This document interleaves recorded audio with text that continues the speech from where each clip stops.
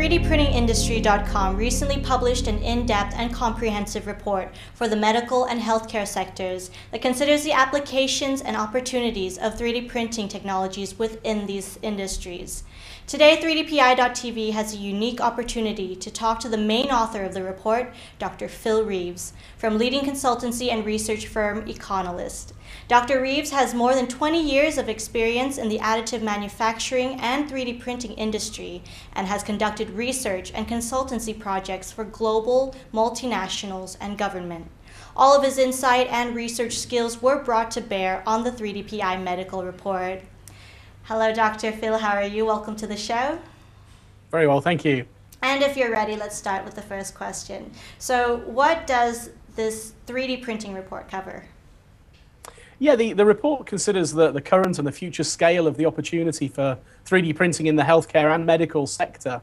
It considers the technologies, it considers the materials, the scale of, of investment both now and the scale of, of monetary investment moving forward. Uh, the report scans and spans the whole uh, medical domain in which 3D printing is currently used.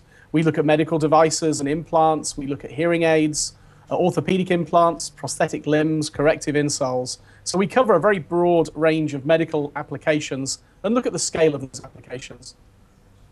All right, and what, in your opinion, are the most interesting opportunities for 3D printing developments within the medical and healthcare sectors? Sure. I think you know, at the moment the most interesting short-term developments are centered around around data, around digital scanning, uh, and taking patient-specific data, whether that's CT data, MRI, ultrasound data, or even laser scanning of patients, and then using that for personalized medical devices or personalized implants. Looking a little bit more into the long term, I think uh, the opportunities are more around active medical devices. Uh, so things like drug-eluting stents and, and the ability to embed function into some of the three-dimensional parts that we print. And Dr. Phil, my last question for you is who do you think would benefit most from this report?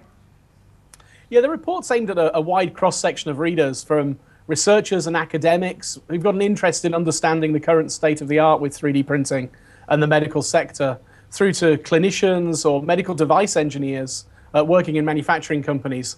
I think also the reports of, of interest to the investment community who want to understand really the, the scale and value of 3D printing in the medical sector, both today and moving forward over the next five to 10 years. All right, well, thank you very much, Dr. Phil, for talking to us today, and we look forward to seeing you featured here again soon. Thank you. To get your own copy of the 3D printing industry report for the medical and healthcare sectors, please visit 3dprintingindustry.com/reports.